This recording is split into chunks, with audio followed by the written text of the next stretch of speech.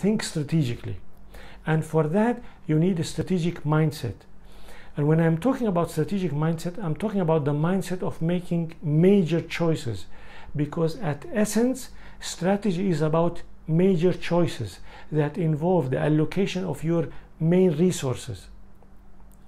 When we talk about strategic mindset, it's the mindset that can decide how do I allocate the finite amount of resources that I have because nobody has infinite resources.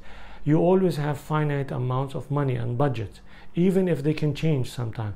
You always have finite amount of human resources, of um, knowledge resources, of human capital, of uh, network resources, of knowledge and experience and intellect and skills. So you have finite resources.